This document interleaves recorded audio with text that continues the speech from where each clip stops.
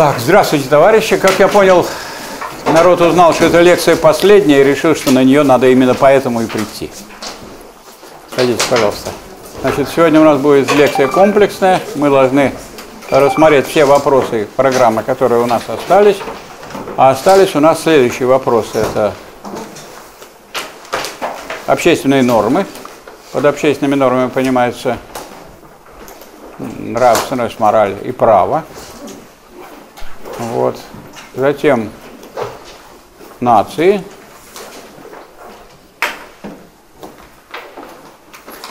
Культура и цивилизация. Вот, так сказать, эти вопросы мы должны сегодня рассмотреть. И на этом мы завершаем курс. И как, не, так, вам не сказали, когда экзамен у вас? По-моему, 15 числа. Так, я разговаривал с Еленой Анатольевной, но уточним у нее еще. 15 июня. Так, значит, общественные нормы. Есть нормы поведения. Есть такие нормы поведения, за которые, за несоблюдение которых применяются меры государственного принуждения. И есть такие тоже общественные нормы, нормы поведения людей, за которые не применяются меры государственного принуждения. Как называются такие нормы поведения, за которые применяются меры государственного принуждения? Нормы права. Нормы права, да. Право. Закон – это воля господствующего класса, поскольку господствующий класс вооружен, имеет государственный аппарат, имеет соответствующие орудия силы, значит, в случае невыполнения норм, которые установлены в праве, он применяет меры государственного принуждения. Для этого существуют специальные кодексы. И кодексы разбирательства по этому поводу – это процессуальные кодексы. Есть гражданский процессуальный кодекс, есть уголовный процессуальный кодекс, то есть как ведется процесс, с чего начинается, с чем выступают, какой порядок рассмотрения в суде и так далее. Его нужно если вам придется столкнуться с этим, нужно процессуальный кодекс тоже изучать, знать, когда и, когда и сколько раз вы можете выступить. Вот, допустим, э, вот вы сейчас знаете, с чего начинается суд. Вот вы пришли в суд и сидите. Сейчас заходит судья с помощником. Что будет следующее? Что скажет судья? А? Это и без него скажут, кстати, суд идет. А вот судья приходит, это могут приставы сказать. Судья приходит, чего начинает? А? Какие присяжные заседатели? Присяжные заседатели – это редкость, экзотика. Это в особых случаях бывает. А обычный суд у нас сейчас состоит, ну вот как говорят, раньше были тройки, а сейчас? А сейчас что? Единичкой. Один судья. И в совещательной комнате сам с собой совещается. Так что, судья приходит с кем? А? Нет, судья приходит с секретарем суда. Или секретарь суда уже сидит, а приходит судья, заходит. Вот секретарь может сказать, встать, суд идет. И с чего начинается? Вот первые слова судьи какие? А?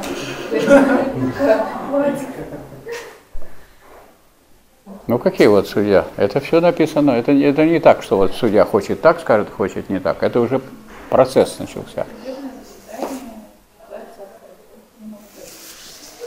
Нет, прежде чем он будет говорить о судебном заседании, он сначала скажет, кто ведет суд.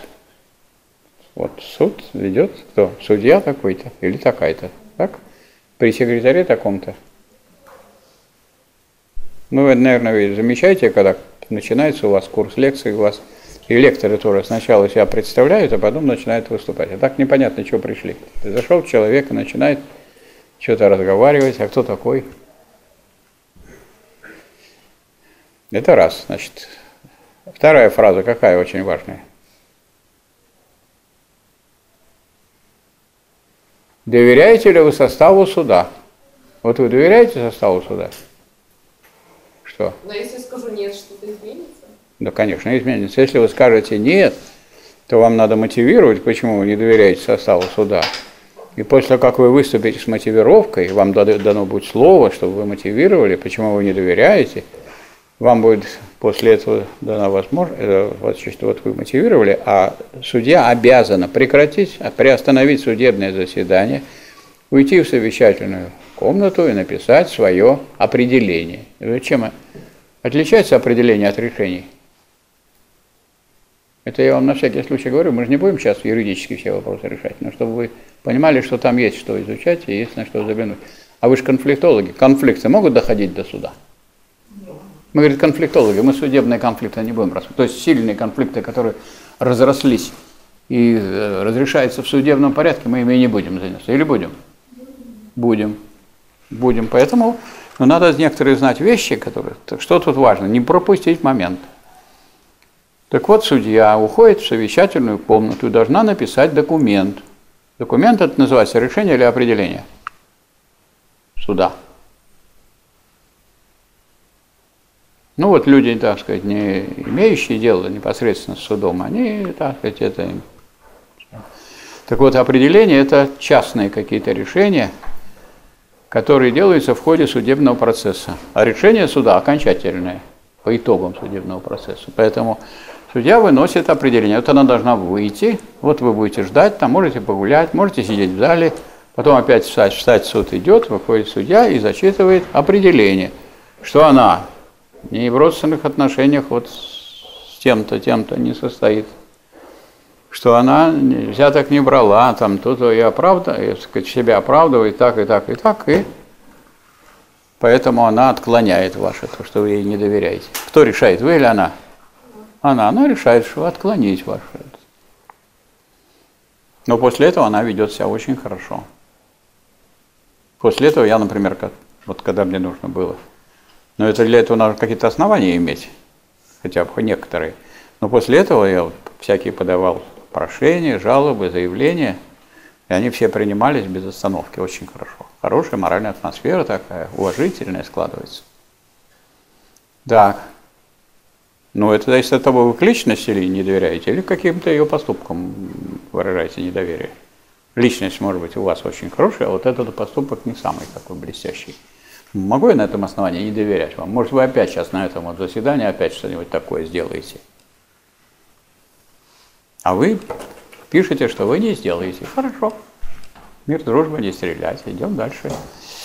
Ну и так далее. Это все в процессуальном кодексе. И вот, например, вот если вы истец кто первым выступает в суде? Истец или ответчик? Истец. Вот если вы будете истец, а я буду ответчик, знаете, что я буду делать? Вот судья спросит, а она обязательно вначале спросит, вот надо не пропустить, какие до начала судебного заседания будут заявления, обращения, приобщение документов. И вот я скажу, у меня есть вот 17 обращений, 15 документов.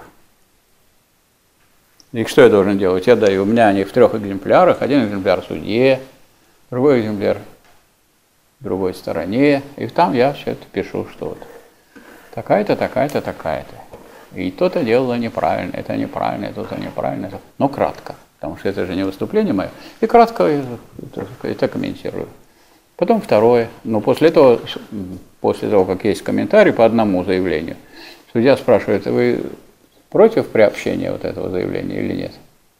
Если вы против, судья решает. Если вы не против, судья тоже решает, раз обе стороны не против, приобщается заявление. И так мы сидим, и все, и все рассказывают, какая вы плохая. То есть рассказываю, рассказываю, письменно подтверждаю и так далее. А вы все ждете, когда вы первые будете выступать. Вы все ждете, когда вы первые будете выступать, а я все выступаю, выступаю, выступаю. Но если вы этот момент пропустите, Скажете, у меня вот есть обращение, все уже скажет судья. Прошли, проехали. Никаких уже обращений, заявлений. Вот будет у вас выступление, будете туда подавать. Судья, она и одета, соответственно, она будет очень строго это вести. Или он. Так, больше мы в эту степь не углубляемся. Вот, поскольку мы понимаем, что после этого значит, будет дискуссия. Суд у нас сейчас выясняет истину или нет? Нет. Почему? Так, так записано во всех кодексах. процессуальных, суд носит состязательный характер. Если я вас переговорил, то я выиграю. Если вы меня переговорили, то вы выиграю. Как сделать, чтобы вас переговорить? Как сделать, чтобы меня переговорить? Знаете как? Вы доверенность можете вот ему дать, а ему? Вот дайте всем доверенность. Я выступлю один раз, а у вас пойдет один, второй, третий, а вы все сидите и смотрите, как они выступают. И в конце еще добавите. Ну, они зло выступают, а вы добрая такая, добрая. В конце мирно так, но со всеми делами. Раз это состязательность, к чему состязанию надо же готовиться. А некоторые думают, я иду в суд, как он идет к Господу Богу, он сейчас все решит.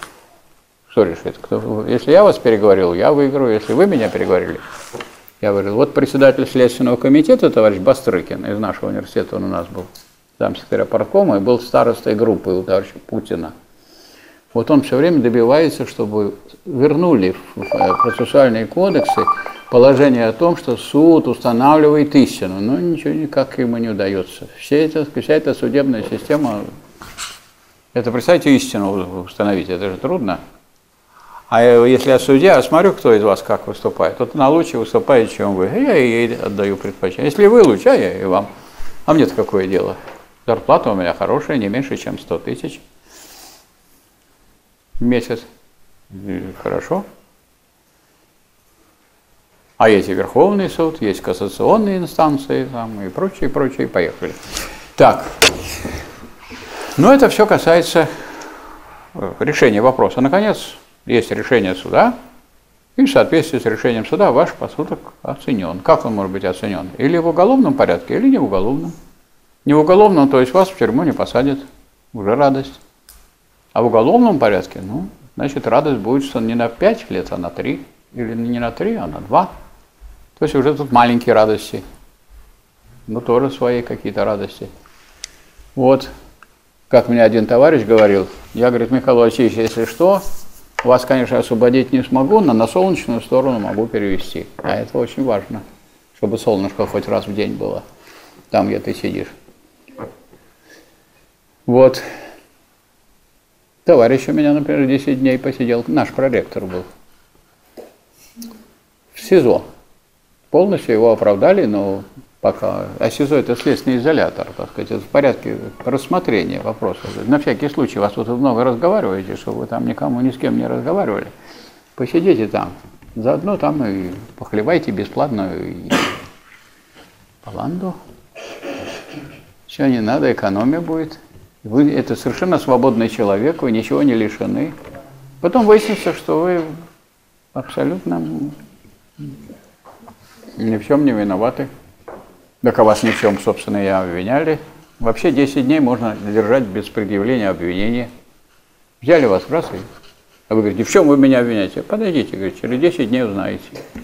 Через 10 дней вот такая бумага. И вот такое, и такое, и такое. Вот после этого можете выжить нанимать адвоката и начинать оправдываться. То есть деньги ваши, вся стипендия уйдет на адвоката. Но адвокат за вашу стипендию защищать вас не будет. Поэтому кого он будет защищать? Голоповышка.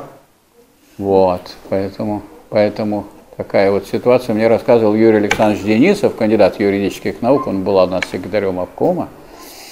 Вот. И ректором потом был юридического института на Васильевском острове он рассказывал, что... А жена у него работает руководителем городской коллегии адвокатов. Говорит, я как туда приду, там все руководители преступного меры около нее сидят. Почему? Ну, допустим, я украл 500 тысяч, а вы пошли жаловаться на меня. Я 250 тысяч отдал адвокату, чтобы они рассказали, что вы и есть плохой, и меня не хотите очернить. Но у меня осталось 250. Поделился с этим. Как вы думаете, бандиты, они же у вас забрали деньги, значит, они могут нанять хороших адвокатов. А у вас деньги забрали, значит, вам не на что нанять хороших адвокатов. Кто выиграет? Приятно иметь дело с умным человеком. Все понимает. То есть это такая сфера, в которую сейчас мы больше не углубляемся, но мы фиксируем, что вот есть такие нормы, которые защищаются силой государства. Они называются правом, правовые нормы.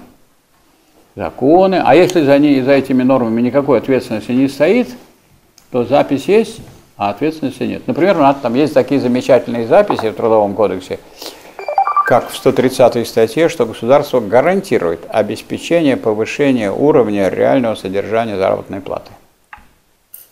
А 134 статья Трудового кодекса гласит обеспечение повышения уровня реального содержания зарплаты. Прямо заголовок такой.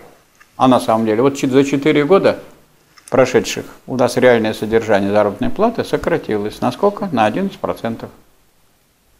Кого наказывать? А никого. А почему? А нету никаких норм. Нигде не записано, что надо наказывать. Если вам, у вас понижено, вы плохо боролись, боритесь за зарплату свою. Вам право дали, закон вам сказал, что вы имеете право, и боритесь. Ваша борьба законна. Желаем вам успеха от имени правительства и всех государственных структур. А государство умывает руки по этому поводу. То есть не умывает, мы вас поддерживаем в вашей справедливой борьбе. Боритесь. Вы зарплату маленькую получаете. Вы? Вот. Ну так вы продавец своей рабочей силы. Ну кто должен повышать цену своей рабочей силы? Продавец или покупатель? Продавец. Ну идите повышайте. А если вы в одиночку будете повышать, не получится. Ну так организовывайтесь. Что я должен против вас организовывать? В мои функции не входит. И все. Такова реальность нашей жизни на сегодняшний день. Поэтому мы от этой тяжелой проблемы уходим к проблемам более легким, нравственным нормам. Вот, допустим, вы сделали что-то плохое, а я говорю, ай-яй-яй-яй-яй-яй, нехорошо. Правда ведь он нехорошо сделал? И общественность собираю, и общественность вас осуждает. Что мы еще можем с ним сделать? Ничего не можем. Вот он сейчас выйдет, снимет рубашку, в майке придет и будет сидеть нахально вот передо мной. Хочешь, то ли воспринимай, что он меня не уважает, то ли воспринимай, что он университет не уважает, то ли он просто ему жарко. Ну, жарко человеку, а вдруг он от жары умрет сейчас. И я потом, если начнут разбирать, он скажет, так я вот боялся, что умру сейчас. И не хотел, чтобы трупы вывозили тут мой, из, из, из, товарищи мои, преподаватель. И я буду в дураках после этого всего разбирательства. Поэтому я сделаю вид, что я не, мне все равно. Можете и без майки сидеть. Это что значит? Какие это нормы? Нравственные. Это нормы поведения, нравственные. Но вот если они там глубоко проникают у вас, эти нормы, как себя вести, это уже мораль. Да? Человек моральный или аморальный. А это отрицание. Ну вот нравственность и мораль носят классовый характер или не носят классовый характер? Вот мы классы с вами изучали, там говорили, что классовый подход, классовый подход, классовый подход. Если, если эти нормы формируют группы, там, классы, куда они Ну а как вы думаете, если я вот, например, миллиардер, неужели я не сформулирую такую норму, не сформирую, что получать нетрудовой доход хорошо? Как вы считаете, хорошо ведь? Ну мне хорошо же. Неужели я буду формировать нормы, вот если представитель правящего класса, такие нормы в этом обществе я буду – тем более в руках у меня что? Радио, телевидение, печать. Я буду формировать нормы, что нехорошо, вот что Рома Абрамович имеет 17 миллиардов. Из них его труд там составляет 0,00 там такой процент, а все остальное не трудовой доход. Трудовой доход, не трудовой доход получать хорошо? Хорошо. Но есть люди такие вот, вы это не считаете, а вот она считает, что нехорошо. Ну, пусть считает. У нас свобода, у нас же демократия, да? Разрешается вам считать, что мне нехорошо? Вам разрешается считать, что мне нехорошо. А я могу взять сейчас билет на самолет. У меня когда там следующая лекция у нас? В следующий понедельник. И до понедельника уеду на острова. Последняя лекция. А? Последняя лекция, это экзамен. О, так я до экзамена уеду. И все. Так это же хорошо. Я буду загорелый, добрый. А вы зачем вам этот злой экзаменатор злой такой весь, смотрит, что все придирается, это не так, это не так. Вам надо это? Нет. Нет, видите, видите, вот меня поддержали люди. А вы оказались в одиночестве. Ну, так что нормы наши, вот мы утверждаем тут правильные, справедливые нормы. Я хотел у вас поддержку найти, думал, кто-нибудь, какой-нибудь корабль есть, чтобы экзамен провести на корабле, по Неве бы ехали и кофе бы поили. У вас нет корабля? Ну что за народ пошел такой вот? Ну где эти люди? Они где-то друг, в другом месте учатся. Конфликтологи не хотят идти. Да, тут какие-то конфликты. Зачем им эти конфликты? Пусть эти разбираются, вот вы разбираетесь в конфликтах. А им не интересно разбираться. У них никаких конфликтов нет, у них есть охрана. Пусть охрана разбирается с конфликциями, правда? Вот сейчас вызову охрану, она разберется с вами. Вот придите сейчас в майке, я охрану вызову, и все. И я даже осуждать вас не буду. Они просто вас возьмут за шкирку и раз туда. А я скажу, как вы так поступаете? Ну как вы так грубо берете? Надо было взять, руки заломить, а за шиворот не брать. Ну, руки заламывать, это нормально же? Ненормально?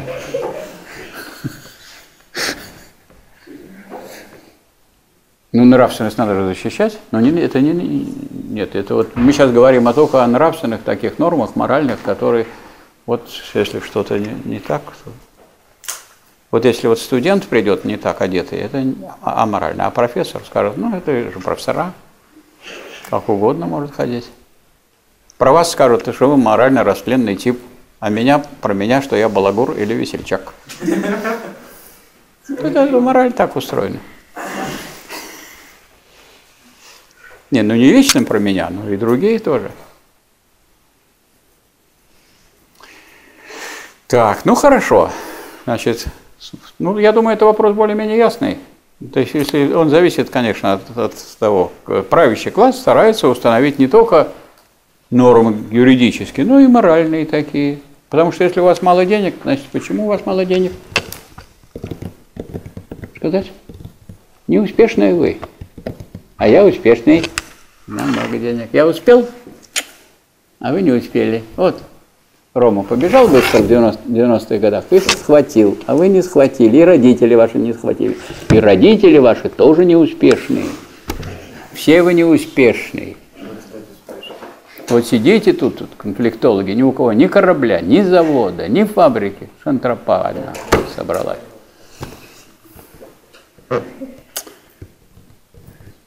Ну, как вроде так выглядит, а с виду выглядит очень все симпатично и красиво. Так, понятно. Так что на этом больше не останавливаюсь. Переходим. Право мы рассмотрели, мораль и нравственность рассмотрели. Теперь нам надо рассмотреть понятие нации. Так, какие мы знаем близкие категории между собой? Значит, знаем мы такие категории, как племя – у вас племянник есть? Есть племянник у вас? Племянница есть? Нету? У кого-нибудь есть хоть племянник или племянница? Чего вы такие вот? Нет никого. А? Есть? Вот у вас есть племянничка. Ну вот если бы у вас было, ну как раньше было в России, там в начале века, 20-го или в конце 19-го, допустим, 13 братьев и сестер.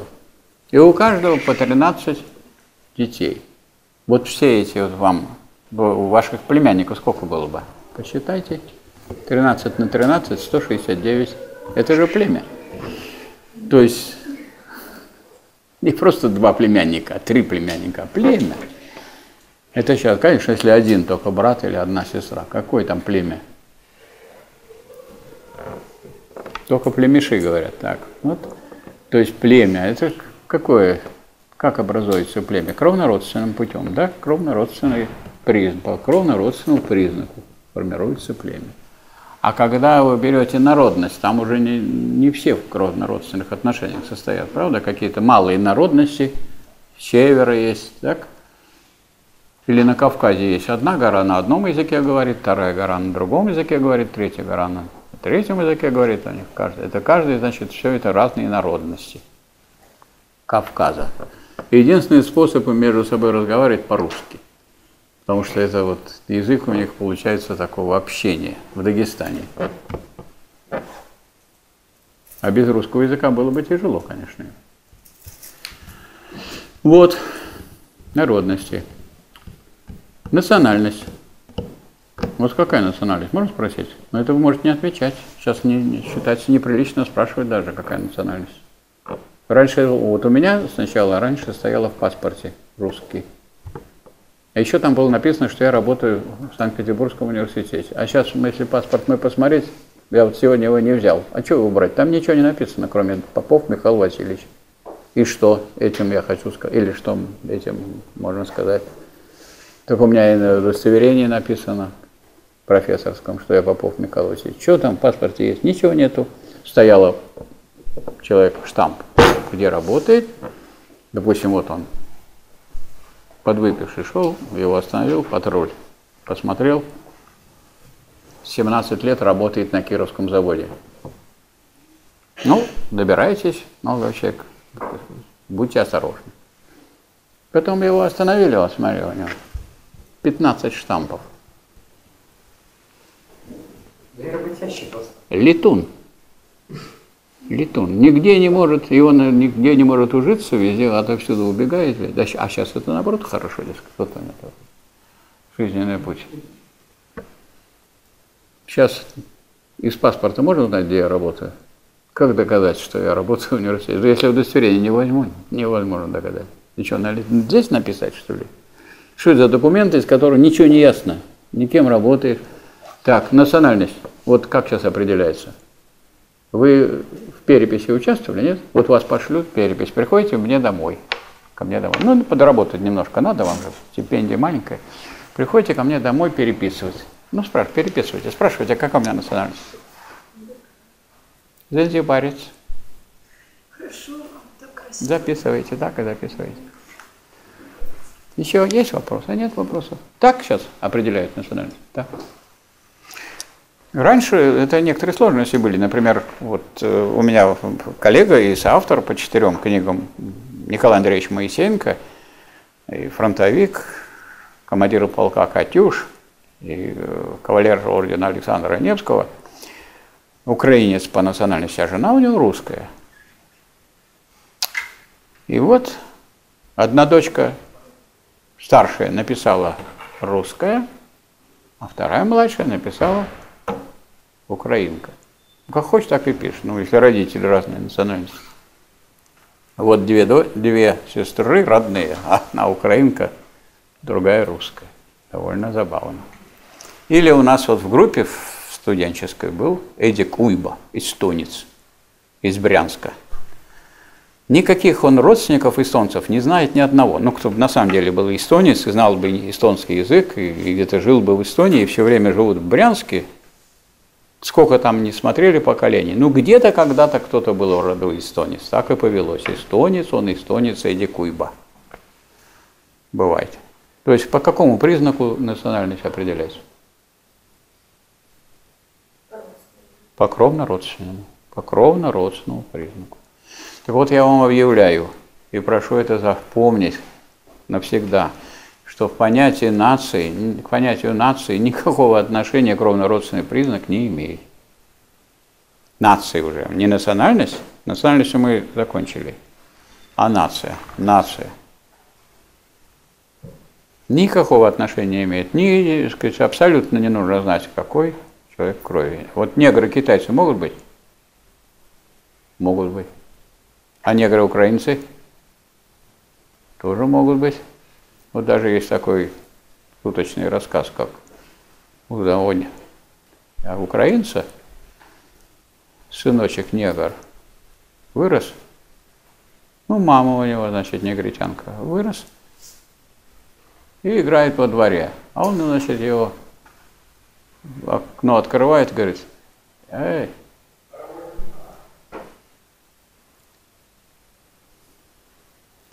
Митько, айда галушки їсти.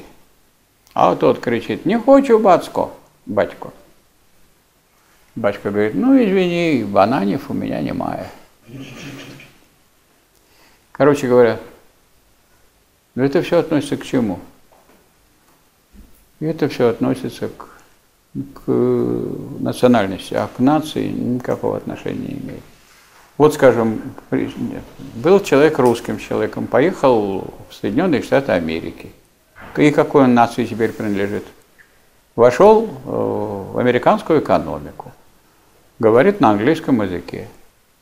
ну, освоил американскую культуру, великую, ну, более краткую такую, по возрасту, несравнимую, наверное, с русской культурой. И какой принадлежит он теперь нации? И кто он такой?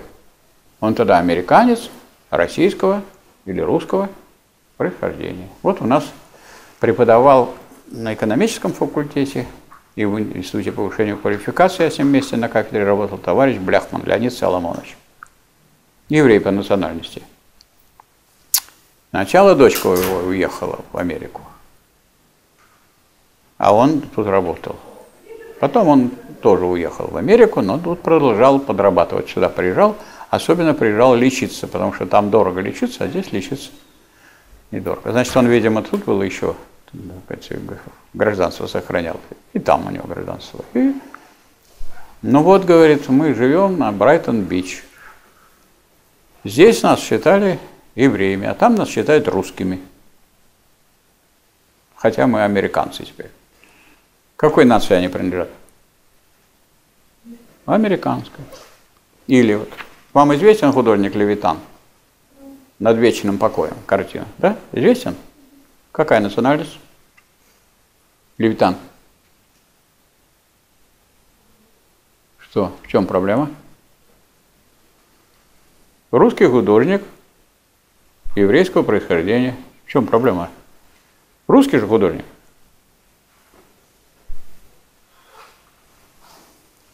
Или, допустим, а вот диктор Левитан. Известен был, войну он сообщал о наших успехах и победах. Его очень наши товарищи любили. Диктор, русский диктор еврейского происхождения. Ну и так далее. Хакамада. У него немножко есть японской крови. Видно, да? И вот Бушин, который ее критиковал, такой публицист, говорил, да пускай у нас в правительстве будут и, ру, и русские, и евреи, и японцы, и эстонцы, кто угодно, но только не Хакамада.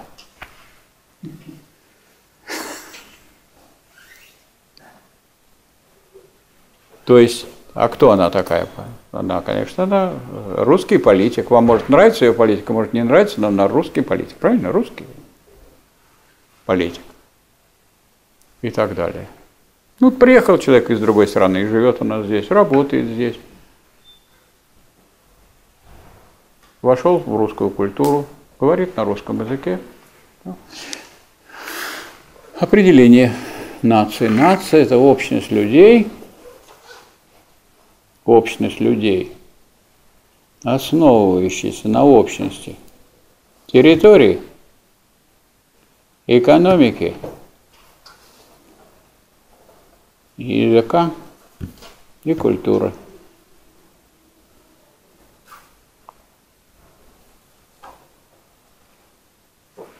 Понятно, да? Общность людей, характеризующаяся, э, основывающаяся на общности территории, экономики, языка и культуры.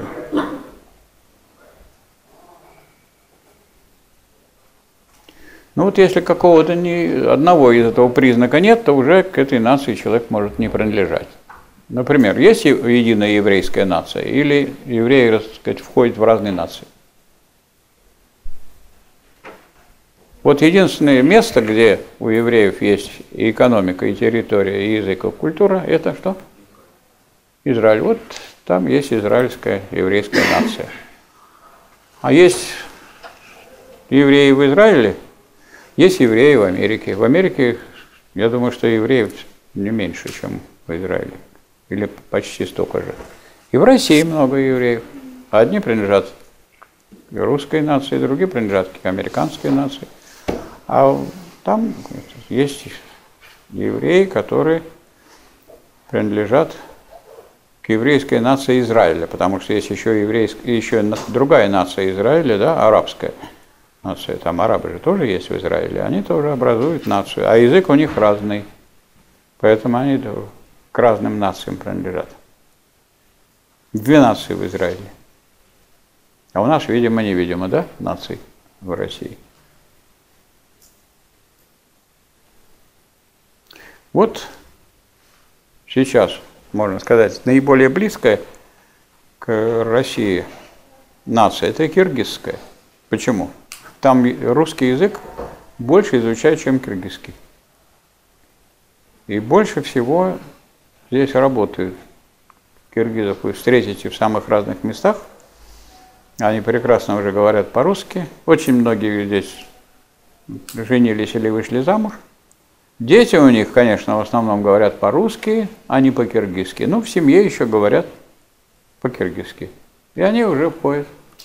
Уж дети уже точно в русскую нацию. Кто они такие? Ну, вот, русские киргизского происхождения и так далее.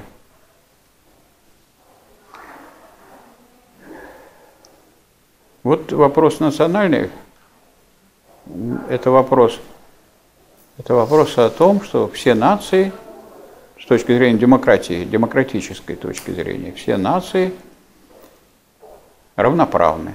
Нет таких наций, которые стоят выше другой. Вот если это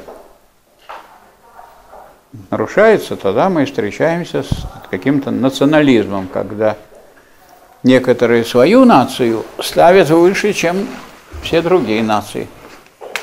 А если это крайний такой национализм, вот у вас другая нация, я вас не просто не люблю, не просто люблю свою нацию, а вот ненавижу вашу нацию. Это что такое? Шовинизм. Все это народ грамотный, можно лекции не читать. Шовинизм. Шовинизм. И вот это вот понятие шовинизма входит в определение фашизма, что фашизм – это открытая террористическая диктатура наиболее реакционных, наиболее шовинистических элементов финансового капитала. Вот сейчас Соединенные Штаты Америки во внешней политике осуществляют позицию террора. Терра, терр, это что означает террор? Ужас. Убивали и сжигали людей во Вьетнаме. Бомбили десятки тысяч бомб, сбросили на Югославию, собрав целую кучу империалистических государств вокруг себя. Уничтожили Ирак, который был светским государством, под фальшивым предлогом, что якобы там есть оружие массового поражения. Никто им это не поручал делать. Не все нормы международного права нарушены. Повесили президента, Саддама Хусейна. Вы любите Саддама Хусейна? Нет, а чем мы должны его любить? Он не наш. Он, он президент Ирака, избранный законным путем. Его повесили, внука его застрелили, семью все уничтожили. Государство светское уничтожили. С того времени начинается история ИГИЛ, потому что там резко усилился исламизм на Ближнем Востоке. Второе светское государство, которое было у нас на Ближнем Востоке, это Ливия – во главе с Маамаром Каддафи. Какое государство? Буржуазное тоже. Вот смотрите, это вот буржуазное государство Югославия, буржуазное государство Ирак, буржуазное государство Ливия. Прилетели, приехали, приплыли, уничтожили. Нет вообще ливийского, нет вообще государства. Откуда все эти беженцы, которые через Средиземное море плывут и тонут тысячами, и плывут в Европу? которых берут на работу, в том числе в Германию. Ну, кому-то там работать надо, там плохую работу делать так надо.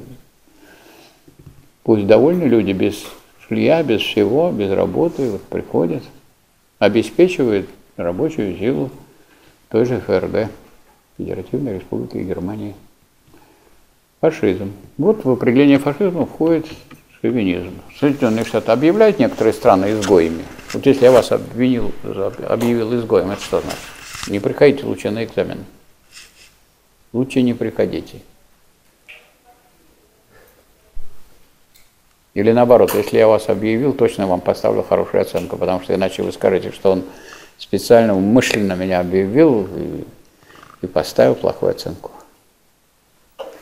То есть что это означает, шовинизм? Шовинизм означает вот такую вот национальную нетерпимость.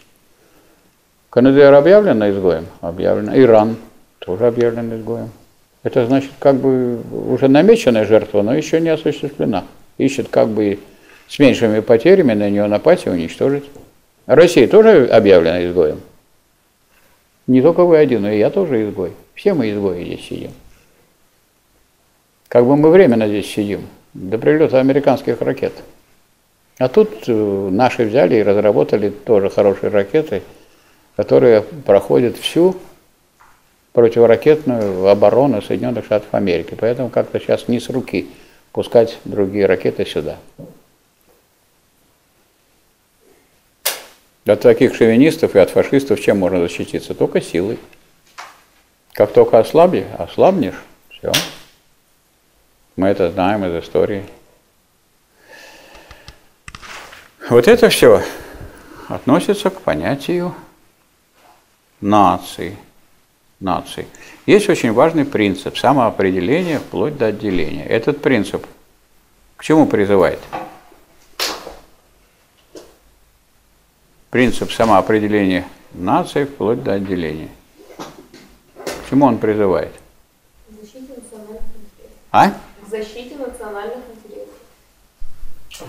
Ну, это очень абстрактно у вас. Он, он призывает вообще-то этот принцип не применять силу в решении национальных вопросов. То есть, если я вот хочу, чтобы у нас было с вами дружное национальное образование, тут все сидят представители разных наций, если я хочу, чтобы у нас было крепкое и, дружное объединение, что я должен делать? Я должен признавать, что вы можете не войти в это объединение, правильно?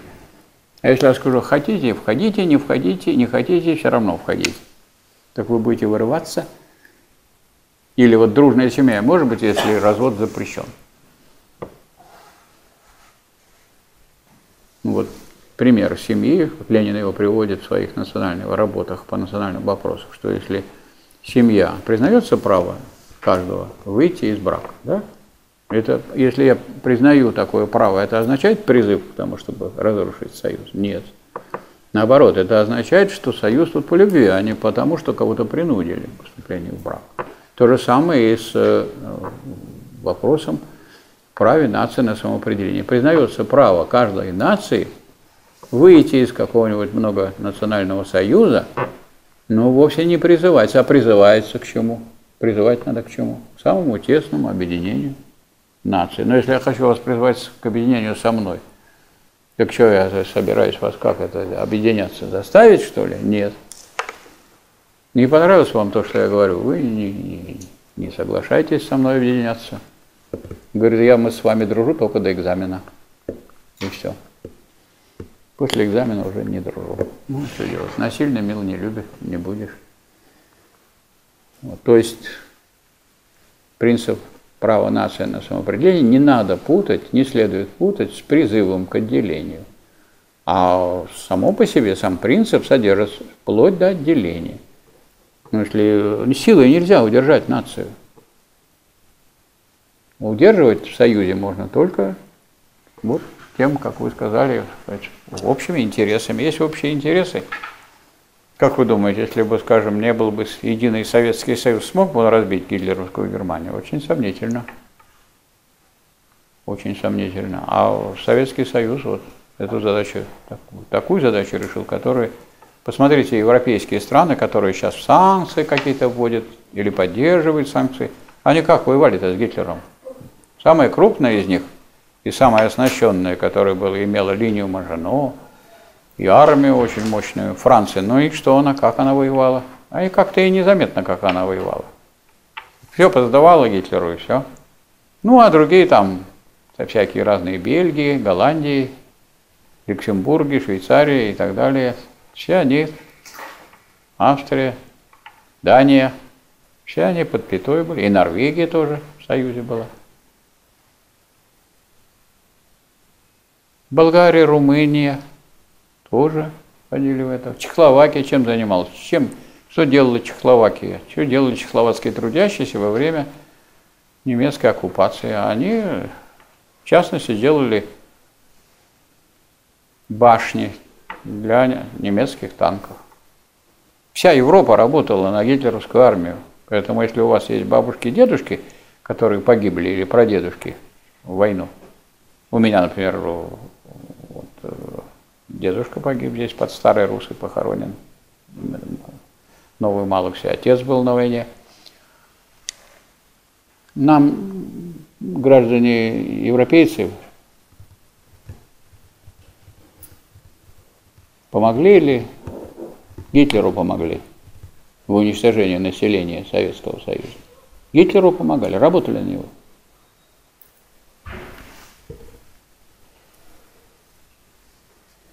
Ну, а наши союзники, они ведь когда вступили в войну? Ну, когда вопрос был, в принципе, решен. И надо было не опоздать к делению пирога. И они и не опоздали. Но это не значит, что это плохо, что они вступили в союз. У нас союз с Великобританией и Соединенными Штатами Америки против фашизма был. И хороший союз, они нам известную часть техники военной поставили, там не более пятой части. И на последнем этапе, этапе участвовали активно в вооруженных действиях против гитлеровской Германии. Конечно, основную ношу военную вынес Советский Союз. Так. Вот самый главный вопрос, который всегда берется в национальном вопросе, это вот вопрос о праве нации на самоопределение. Мы его рассмотрели. Это вот негативный принцип, то есть нельзя заставлять быть в одном союзе, а призывать надо, конечно, быть в союзе. Это ясное дело. И надо это различать. Многие это совсем не различают. Даже очень высокопоставленные чиновники это не различают. Вроде бы и грамотные. Так, ну хорошо, вот, значит, национальный вопрос мы с вами рассмотрели очень кратко. Переходим к вопросу о культуре. Вот сейчас, я думаю, на вопрос о том, что такое культура, не так просто будет и ответить. Кто у нас может ответить на вопрос, что такое культура? У меня вот культурологи были третий курс, они никак затруднялись всегда. Может, конфликтолог ответит? Все сделано человеком. Все сделано. То есть вот печи, которые, в которых сжигали этих людей, это все культура, да? А, понятно, да. Ви, виселицы, которые наставили, да, колючие проволоки, это все культура. Все то, что сделали человеком. Все, что сделали человеком, все это культура. А без культуры это не разве не человек сделал? Это кошки, что ли, сделали без культуры? Или это без культуры относится к, этому, к медведям или к жукам? Так, не проходит. Какие другие варианты? Что такое культура? Изначально это было возделывание земли. Сейчас уже это термин разросся до 300 определений. Это я слышал тоже такое. Это от культурологи любят. Спрашивают, что такое культура? Говорит, есть 500 определений. Я говорю, ну если есть 500, ну дайте хоть одно. Не дают ни одного. Ну, к вам как бы претензий нет, вы не культурологи, скажут. Вы спросите у нас про конфликт. Я вас спрашивал про конфликт, там тоже было у нас непросто. Но ну, культурологи, они говорят, есть 500 определений. Я говорю, ну дайте хоть одно. Никто не дает. Ну, как вы думаете, что такое культура? Ну, слышали же это слово? Вы не знаете случайно, что Вот подойдет девочка маленькая, тетенька, скажите, что такое культура? Что вы ей скажете? А? Я с незнакомыми не разговариваю. С незнакомыми маленькими девочками не разговариваю. Знаете, много историй начинают разговор с незнакомой маленькой девочкой.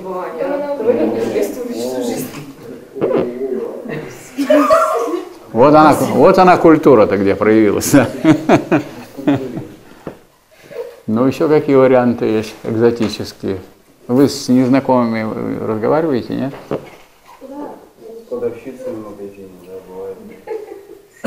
Вот я когда начал у вас преподавать, точно был с вами не знаком. А вы со мной и не разговаривали, а сейчас разговариваем. Да вот хотел, вроде мы разговариваем, а вот из этого разговора выделить, что такое культура, пока не удается. Что такое культура-то? Хоть дайте хоть предположение какое-нибудь. Вот человек уже сформулировал, вы можете, вам не нравится это, но он же сформулировал, он не уклонился от вопроса, а вы уклоняетесь, а он не Это уклонился. такая же версия просто культуры, то есть то, что создано человеком, и нет. Вот это вся грязь, которую мы везде видим, все мерзости, которые были. Вот если кому-то отрезали голову, это культура. И на пику ее, да? Или жир вытопили, и на этот жир потом горячий вылить на тех, кто лезет на Вы стену. спрашиваете хорошо, вы спрашиваете, какая культура хорошая, какая культура плохая. Да, это все еще культура, да, она плохая, да, это То есть если, если на, посадили на кол, это культура. Понял? Бесчеловечная культура, да. Бесчеловечная культура. Культура каких-нибудь племен Африки. А? А зачем тогда это, какие-то дураки придумали бескультурье или низкую культуру? А если высокий пол, то это низкая культура или высокая? Надо. Вот колесовали, четвертовали, это все культура, да? Понятно. Вот сейчас нам человек свежий. Можно вас спросить? Культура, Настя, скажи. Что такое культура? Не говори сейчас В самом прямом. Люди вот все сидят, все ждали вас, когда вы придете и ответите на вопрос, потому что никто не мог ответить на вопрос. Следующий. То есть как только от земледелия, то есть я понял так, это вот двое так на этом стоят твердо, и это позитивные ответы. Вот, и я так понял, что как только перестали заниматься крестьянским трудом, вот крестьяне там, кто на земле остались культурные, все остальные бескультурные. И вот эти вот собрались, эти конфликтологи, и я в том числе, поскольку я-то на земле не работаю, хотя я иногда могу землю вскопать, все мы тут бескультурные. Вот их двое, они от нас определили, что мы все бескультурные.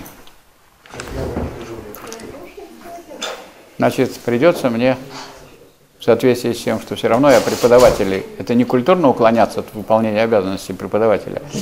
Значит, сказать, что такое культура. Культура – это накопленный опыт человечества, накопленный опыт человечества материальный и духовный. Опыт, знаете, в чем состоит? Что вешать надо тех, кто делает газовые камеры. Не газовые камеры входят в культуру, а то, что вот повесить надо тех, кто делает газовые камеры. Вот она разница, постановка вопроса. Накопленный опыт человечества. Материальный и духовный. А опыт человечества материальный в чем состоит? Здания, сооружения, возделанные поля. Да? Это все опыт. Это плохой опыт, но он тоже опыт. Какой? Это неплохой, это неплохой опыт. Опыт состоит не в виселице. Опыт состоит в том, чтобы людей не вешать. Вот вы неправильно, вы с точностью до, до противоположного неправильно сформулировали.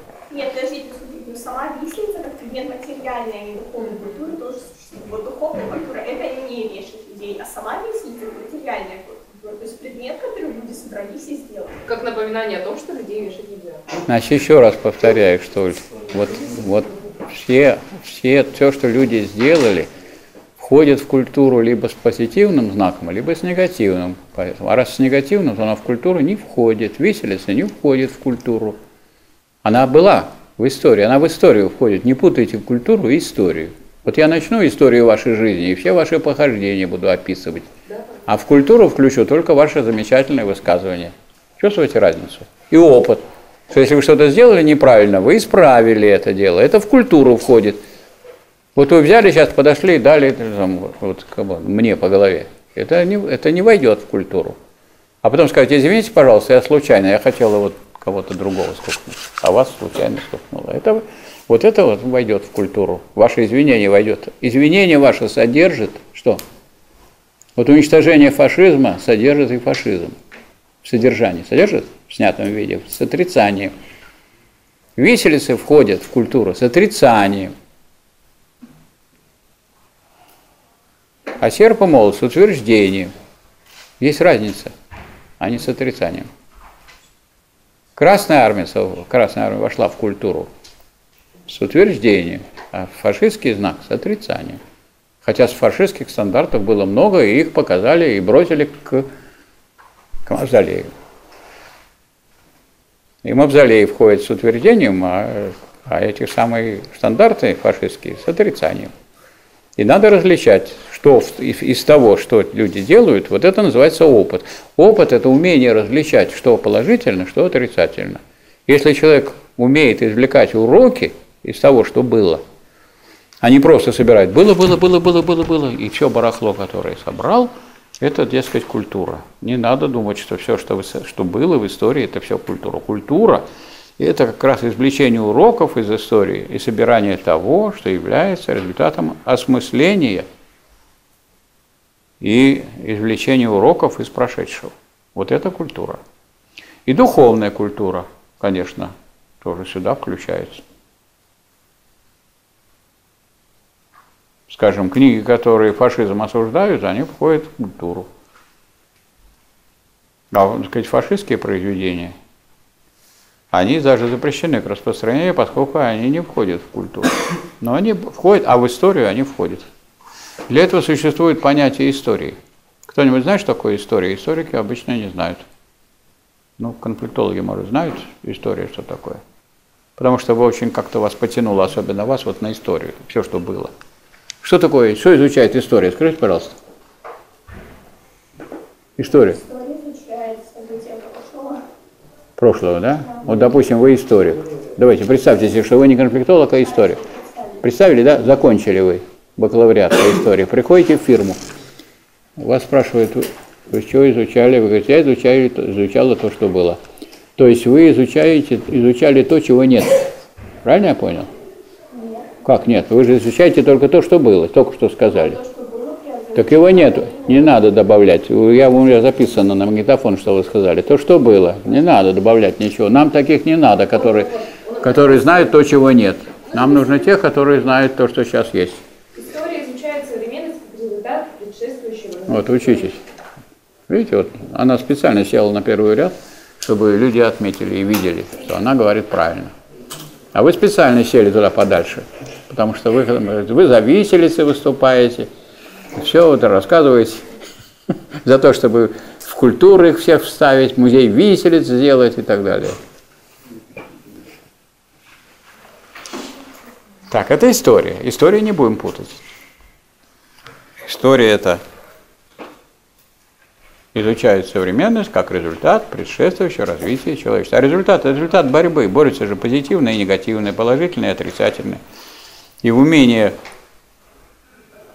отличать положительное отрицательное – это элемент культуры, конечно. Пол- Положительное, а положительное содержит в себе отрицательное?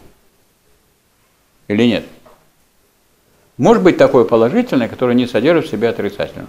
Не может быть. Поэтому не надо беспокоиться – что вот если вы берете положительное, то там не будет виселиц. Будет, но они будут там с отрицанием. Правильно? Ну, история Великой Отечественной войны содержит все, что делали, все те злодеяния, которые делали фашисты, содержит. Но культура состоит в том, чтобы показать, что вот те, кто победили в Великой Отечественной войне, они вот, собственно, и продвинули историю вперед. И человечество продвинули вперед. А фашизм это, был, это вот такое политическое направление, которое является античеловеческим, что и закреплено в соответствующих решениях какого процесса? Нюрнбергского процесса. Нюрнбергский процесс, в котором присутствовали и страны и социалистические, и капиталистические, и фашизм был осужден как человека ненавистнический, со, со всеми его деяниями, разумеется. И с виселицами, и с, с печами. Вы тоже тут уже тут пытались нам ставить эти какие-то печки, в которых людей сжигали. Культура входит у нас, крематорий, он входит в культуру. А печки, в которых сжигали людей живых, не входят. А в крематории хотите, кого хотите, хороните. Никто вам не помешает. А можете на кладбище захоронить. Можете сделать вид, что это не ваши родственники, и их потом государство захоронит в полиэтиленовом мешке. Это будет отступление от культуры. Так вот, если вы были в таких местах, там видели, там лежат черные бабушки, черные, никого у них нету, они почернели. Потом их нашли, они, никто к ним не приходил, они там высохли. Их захоронили. Кто захоронил? Государство. Так. Ну, осталась у нас теперь цивилизация. А что такое цивилизация? Ну, что такое цивилизация? Вот вы у нас вот цивилизованный человек или не цивилизованный? Как вы узнаете это, что вы цивилизованный, если вы не говорите, что такое цивилизация? Вы не знаете теперь, кто из нас цивилизованный, кто нет. Так я тоже не знаю, раз вы не говорите, я не знаю, как нам быть. Может, мы не цивилизованы? Может, мы и. Дикари.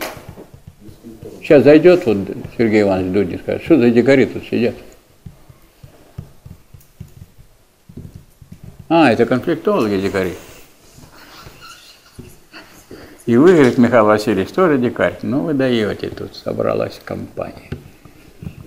Так что такое цивилизация? Кто-нибудь скажет нам? Не слышали такого слова? Наступил такой момент в жизни нашей, когда ну, за те слова, которые мы в детстве употребляли, усваивали путем повторения, надо нести ответственность, то есть понимать уже, что мы говорили. То есть надо все эти слова пересмотреть и уже понимать, что это означает. Потому что если бы два года вы сказали цивилизацию, сказали, молодец, как хорошо мальчик сказал. А когда вы вот уже студент, ты скажешь, и не знаете, что такое цивилизация, скажешь, что это студент? Вы какого университета Санкт-Петербурга? Ну, вы даете Санкт-Петербургском университете. Имени чего, кого? А, не имени. Ну, хорошо. Ну, кто-то скажет, это я время тяну. Что такое, что такое цивилизация? Никто не скажет. А? Высокая степень развития развития общества.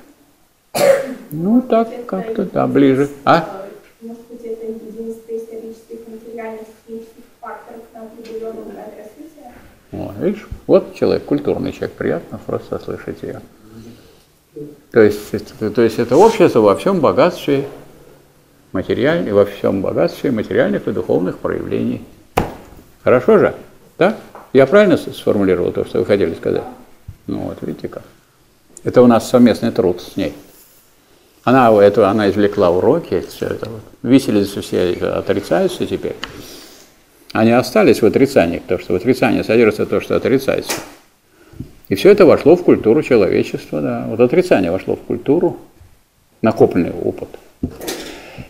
Так, так цивилизация – это общество во всем богатстве. А мы с вами изучали формации, вы не забыли? Мы там чего-то не брали. Что мы там брали? Производство, так, единство производительных сил и производственных отношений, способ производства и надстройку политическую, идеологическую, юридическую. Все. Историю не брали? Национальный вопрос. Не брали? Культуру? Не брали.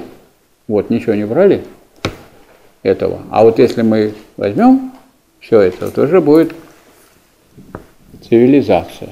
Поэтому какое, какое рассмотрение более богатое? Рассмотрение общества как формации или рассмотрение его как цивилизации? Как цивилизации. Ну а как вы можете рассмотреть общество как цивилизации, не пройдя этап рассмотрения его как формации, правильно? То есть сначала берется общее, вы есть все, так сказать, огромное количество типов разных обществ, вот что ни страна, это свое, своя цивилизация по существу, правильно? Все там богатство, если вы возьмете, все определенности, которые там есть, все присутствуют, они все отличаются. Куда не поедешь, там все по-другому. Хоть в чем-то, но по-другому, все не так. И есть своя история, своя национальность, своя культура, да и даже и та же экономика, и та же политика тоже имеет какой-то свой аспект. То есть можно так сказать, вы говорите, за цивилизационный или за формационный под, подход. Как вот в науке можно встретить такое довольно глупое противопоставление. Глупое, потому что противопоставляется общее и более конкретное. Вот вы человек или студентка? Так можно сказать? Ну как это странно, да? Но если студентка, так ясно, что человек. А вы студент или мужчина? Странный вопрос, да? Странный вопрос. А вы мне скажете, а вы? Точно так же сказать, а вы кто, преподаватель или гражданин? И мы с вами тоже так, все это так вот будем. Потому что нельзя противопоставлять общее и более богатое, более подробное. Поэтому, когда мы говорим о том, что надо заниматься, прежде всего надо выделить, к какой формации относится эта страна, правильно? На каком этапе развития она находится. Потом другие вещи рассмотреть, там, национальный состав, однонациональная, мононациональная страна или многонациональная страна. Культура у нее какая? Культура там американская несколько сот лет или иракская, которая тысячи лет. вот эта страна, у которой культура несколько сот лет, напала на ту, которая имеет возраст огромнейший, иракскую, и уничтожала ее. И так далее. И вот если мы возьмем все аспекты духовного и материального развития, мы получим эту же самую страну, изображенную как цивилизацию определенную. Но поскольку бывает Вот надо учитывать, когда мы берем все аспекты, и географически надо учесть аспект, правда? И расположение, вот, и на какой широте, и на какой долготе. Поэтому у нас есть страны южные, и, соответственно, характеры есть южные, так, есть страны восточные, и мы прекрасно понимаете, понимаем, что вот в этих восточных странах есть свои обычаи, свои привычки и так далее, которые надо учитывать. Например, дополнительный, так сказать, коллективизм у восточных стран из чего вытекает? Той же там в Китае, в Корее, во Вьетнаме. Какую культуру там возделывают? Что там любят кушать? Рис. Рис. Почему они там любят кушать рис? Потому что мы знаем, что растет. Потому что вот это чисто материалистическое, потому что там растет рис. А почему украинцы не едят ржаной хлеб? Не любят. Потому что он не растет. Потому что рожь там не растет, а растет пшеница очень вкусная. А почему мы на севере едим ржаной хлеб? Потому что у нас и пшеница и растет, и рожь растет. Вот это очень просто все объясняется. Но это от- потом отличается культура. Что такое не делают из этого риса? Но для того, чтобы возделывать рис, что нужно делать? Нужно, чтобы поля были залиты водой. А вы не можете вот на свой участок и только воду провести, и все. Это надо, чтобы по всей стране была ирригационная система. А раз по всей стране ирригационная система, самые, можно сказать, диктаторы, фараоны и какие прочие, и мандарины должны что делать? Должны проводить соответствующие э, так сказать, каналы, ответвления от этих каналов, то есть заниматься экономикой. Государство должно заниматься в лице даже монархов средневековых заниматься должны экономикой обязательно. Кроме того, что они делают как абсолютные монархии. И поэтому даже есть такое понятие азиатский способ производства. Азиатский способ производства. Такой способ производства, который их соединяет в одно целое.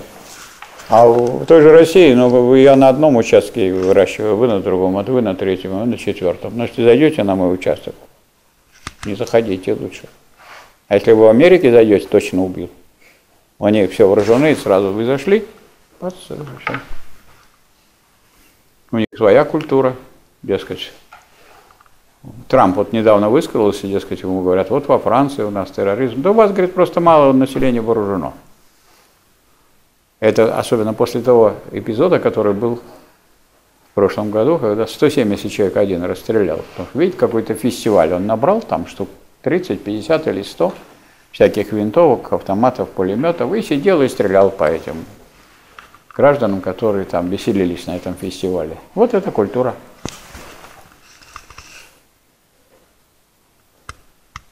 То есть мы, когда идем от более общих э, каких-то моментов в развитии общества, все выше и выше к являющимся формам, мы доходим и до таких, которые являются исключительными. То есть ни в других странах такого нет. Нет такого. Ну или там по-разному это выражается в языке. Где вот так вот помотает это, где-то в других культурах это да, а вот это нет.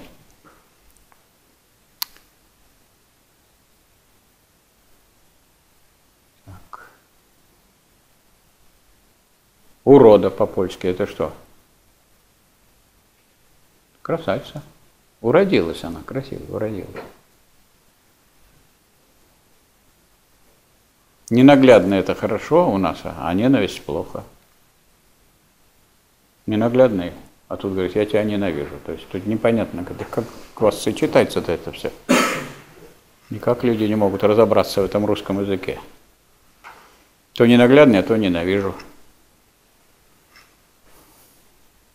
Ну, что поделаешь, это тут есть. Вы, вам объяснят, вот подойдете к человеку, а человек объяснит, что вот тут все богатство духовных и материальных проявлений, и исторических случайностей, все сюда входит, понятие цивилизации. Поэтому не надо противопоставлять разные цивилизации, разные люди. Жить надо в дружбе.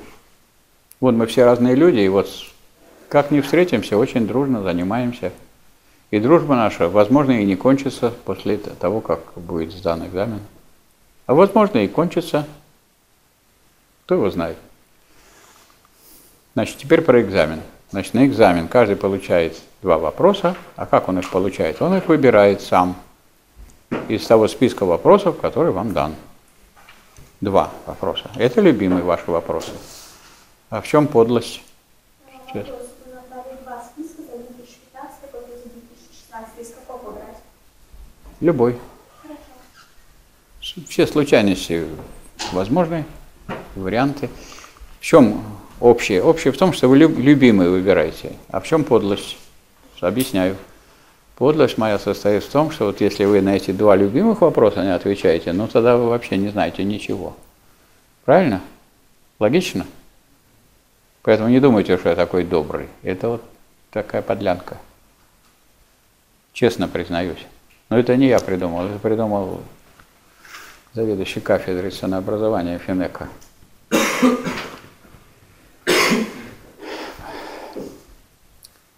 Вот, то есть вы выбираете, это хорошо. И это соответствует вообще логике э, учета, вообще оценки вклада в науку, которая сложилась в России. Вот когда вы будете курсовую выбирать, вы же будете выбирать тему курсовой, или вам навязывать будут? Ну, вы же будете. А кандидатскую будете писать? Вы же будете выбирать. Ну, конечно, вы будете советоваться там с преподавателями, с руководителем, но вы же будете выбирать.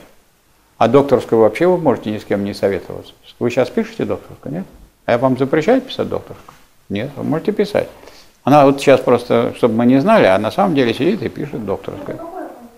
А? Да, да я не сомневаюсь. И она нам не выдаст, пока не вот не, потом раз приносит на кафедру уже вот такой толщины.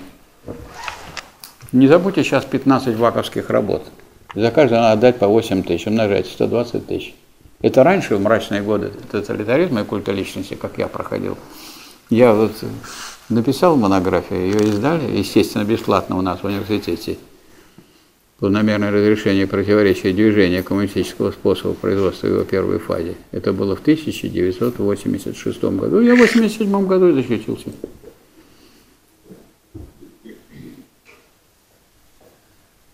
Правда, я перед этим еще два раза защищался, но те не в счет.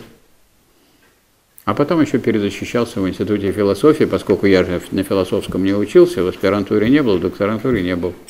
И вообще я не философ. А сразу докторскую защитил на философском факультете. Поэтому меня на перезащиту отправили в Институт философии. Ну, там единогласно проголосовали. Не прошло еще года, как мы уже утвердили. И уже в 90... Нет, в 89 году я уже стал доктором. А начало было с 78 года. Лет 11 на это все прошло. Так что вы начинайте, и как раз к тому времени все и подойдет. При этом никто не мешает же. Пожалуйста, хотите, защищайтесь. Не хотите, не защищайтесь. Хотите, пишите, не хотите. Вы статью пишете? Не пишите, а чего? Чего вы ждете? Какой-нибудь конфликт бы выбрали. У нас только вот, у нас, у нас уже, здесь уже, можно сказать, конфликт образовался, но еще не разгорелся. Экзамен как конфликт. Статья. Или не сданный экзамен как конфликт. И вы тоже вот не пишете ни- книгу, книгу не пишете, толстую такую. Взяли бы написали книгу. Вот чё- ну кто-то вот молодые люди взяли бы написали, ну что-то старики пишут книги. Что они могут старики-то написать? Мне внучка моя говорит, ну мы, если вы нас родили, то мы должны быть лучше вас. Я так подумал, действительно, если мы родили, она должна быть лучше вас. Вы должны лучше нас быть или меня? Лучше меня должны быть или хуже? Вот вы иногда думаете, что я на вас нападаю, что вот я такой плохой. Но я надеюсь, что вы это лучше меня будете. Не будете такой плохой, как я. Ну, надежда моя справедлива или нет? Как может быть? Ну а зачем тогда вы нужны, если вы не будете лучше меня? Я так понимаю, ничего, следующее поколение идут, и они еще будут хуже, чем наше поколение. Вы что, с ума сошли? Это вообще тогда бессмысленное поколение, если оно не будет лучше. Никакого прогресса тогда нет. Вас родители родили, чтобы вы были лучше их. Но вот дети у вас будут, а они тоже да, их будут лучше вас. А как вы хотите? И что, обидно, что ли, вот, скажем, мне скажут, если вы будете лучше меня, скажут, да это мои студенты все. Это же хорошо же. Сейчас будут сидеть вы уже в министерстве таком, а вы премьер-министром. Так, а вы на счетную палату пойдете, как Кудрин. У меня Кудрин был дипломник, вот он теперь на счетную палату перешел. Как бы я счетчика какого породил, когда был руководителем дипломной работы. Возможно, меня судить будут, если вот за американский он в Америку все деньги наши увез. Привлекут, может быть, и меня привлекут. Вас, может, не привлекут, потому что... Но вы со мной тоже якшались тут. По крайней мере, могут вас опросить, когда дойдет дело до разбирательства. Вот, ну это нам, это мы, в общем, говорим уже о разных всяких других посторонних вещах, а сейчас у нас впереди экзамен. Вопросы какие есть по, по экзамену? Нет? Значит, во-первых, консультация будет перед экзаменом. Консультация будет э, до где-то числа 8 примерно. Ну вот, не видели еще пока, ничего не стоит в расписании. Ну так, мы с Еленой Анатольевной говорили, как мы с вами договаривались, чтобы она нам поставила значит, экзамен после 15 а консультация будет где-то в районе 7 7-8 числа, где-то в это время. На консультации мы встречаемся. На консультации я должен ответить на все ваши вопросы. Поэтому вы увидели, вот я как к вам пристаю, как привередливо на вас наступаю, да? Вы можете отыграться на консультации, потому что на консультации я обязан ответить на каждый ваш вопрос. И не уклоняться куда-нибудь. Это как бы экзамен для меня. Вот. Так что, а после уже на экзамене наоборот, а там я буду. А там уже что на экзамене? Там абсолютная, абсолюти, абсолютная власть, диктатура. Вот что поставлю, то и поставлю. А если кто будет не согласен, комиссию создадим. Комиссия будет из ваших друзей или из моих друзей? Ну все, поэтому лучше готовиться. Потом наши друзья придут на комиссию, А? закончится. Ну, наши друзья потом придут на комиссию, когда она закончится. Зря вы выдали, потому что мои друзья уже будут сидеть и ваших сразу забирать. У меня и сейчас вон сидят друзья. Так, ваше звание какое у вас, товарищ друг? Полковник. Полковник, поняли, да? Спокойно. Запишите вот это. Фамилию назовите, пожалуйста, товарищу. Что, что? Фамилию свою. Поденков. Вот так, запомните. Уже пошел в оперативную разработку. Спасибо за внимание. Спасибо, большое. Андрей. Снимаю я. Уезжал.